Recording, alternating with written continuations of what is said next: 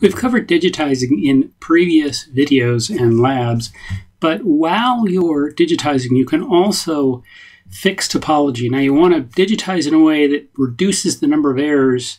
So you set snapping and do the various digitizing methods like the removing overlaps while you digitize to autocomplete, but still you'll have errors in your data. And so to clean those, you need to use the topology checker. And so the topology checker is a plugin that is usually activated, but it may not be. So you may have to look in the plugins and manage them. And then when the repository opens, you need to look for the topology, and there it is before I even get a topology checker. It might not be activated, so if it isn't, you need to click next to it it'll show this icon then in one of your toolbars. I previously activated it, so here's my topology checker. If I left click on that, it opens the topology checking panel. I have a data layer here, uh, actually several data layers here, and we're going to show you how to check the topology on this one data layer called land cover. So this is an area in France, and I've loaded up a Bing map here behind it. I showed you earlier how to do that in the tile services. And I want to make sure that these data are well formed. So I want to create a topology table and then check for errors in that topology table.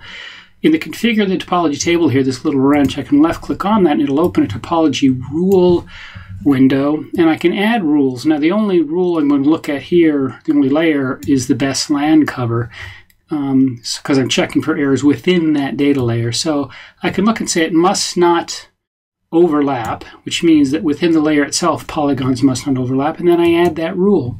I can also say that it must not have gaps. So I want that best land cover must not have gaps, means there's no slivers between this, the various um, polygons. This might be something like any layer that has complete coverage and it's a polygon layer and they can't overlap. So a parcel layer might be one of these, land covers are certain like this, municipality or political boundaries might be like this. There's no area within a state, for example, that nobody has control over.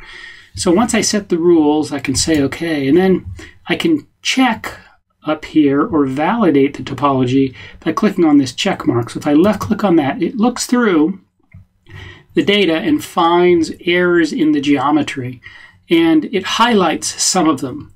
So I can turn the errors on or off with the Show Errors button, and it shows some of the errors. In this case, it's only showing the gap errors in this red.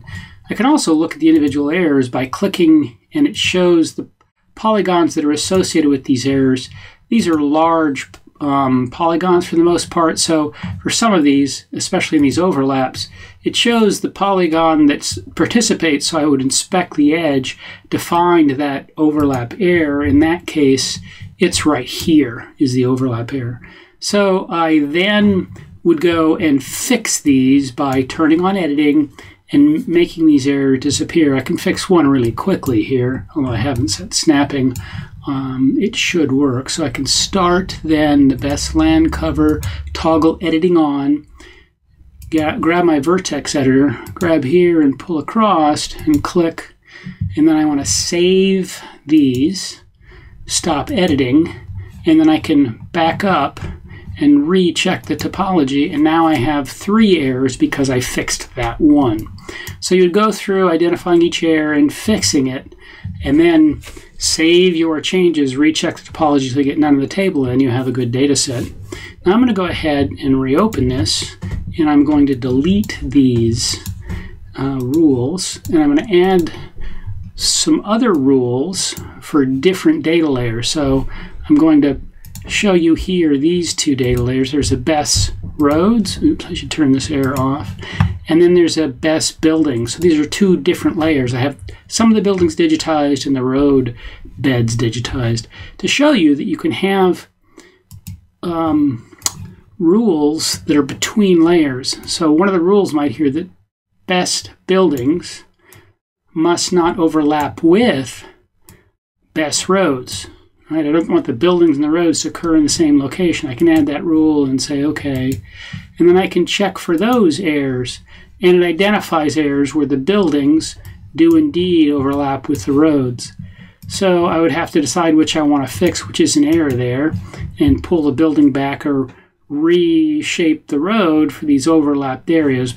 And it shows that basically if I click on each of these, it will show where the error is. So you can see here the error highlights the building where there's an issue every time there's one of these overlaps. If you look here closely, you can see the, the building switch. And so that tells me which of the buildings is involved in the error, and then I could fix it. And if I validate the topology again, each time I fix one of these, one will disappear. Now, typically you fix all the errors or attempt to fix all the errors and validate the topology most of them go away, if not all of them. There might be one or two left where you didn't quite fix them correctly. You cycle through that until all the errors are gone, and then you save your data and you have good, clean topology.